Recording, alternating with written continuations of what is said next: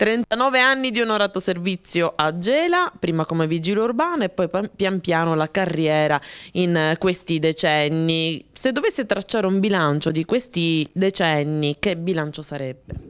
Ah, il bilancio è meraviglioso perché io mi ricordo quando sono entrato a 23 anni, nel 77 ci siamo trovati delle forze fresche e un, una città diciamo eh, tranquilla, una città che diciamo, aveva sì i suoi lati di ricostruzione abusiva, il periodo proprio eh, quando ci fu il boom della ricostruzione abusiva. E, lavoravamo fianco a fianco, diciamo, tutti noi giovani con gli anziani, e con il cuore, veramente, perché abbiamo fatto un concorso che ci è piaciuto e ci siamo trovati eh, con questa meravigliosa divisa in questa grande famiglia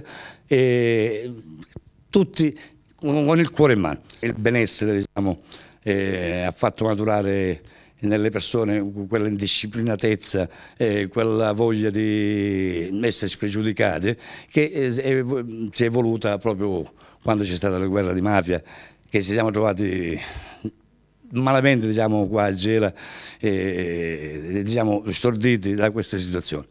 Niente, diciamo noi come quando Polizia Municipale, eh, quello era un periodo in cui andavamo scemando come personale e cercavamo anche ancora i nostri diritti eh, come eh, pubblica sicurezza. Paradossalmente eravate meno numericamente, e però erano gli anni invece in cui serviva il controllo del territorio, era davvero necessario. Eravamo diciamo non più gli 80 iniziali ma eh, sulla cinquantina e però si aspettavano sempre i concorsi, si aspettavano certi diritti magari che ancora era il periodo che facevamo noi eh, le lotte sindacali andando anche a Palermo per essere riconosciuti come, perché non eravamo agenti PS allora.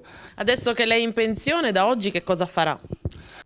Adesso eh, sarò un nonno a tutti gli effetti e, e quindi ehm, e poi ho altri viaggetti da fare anche perché c'è mio figlio il piccolo che sta facendo il corso di maresciallo della finanza all'Aquila e quindi sarò costretto, diciamo, per evitare di farlo scendere sempre, di tanto in tanto saliremo io e mia moglie andando all'altro quindi sarò impegnato sotto questo punto di vista. E se dal comando dovessero chiamarla per qualche consiglio, lei che cosa risponderà?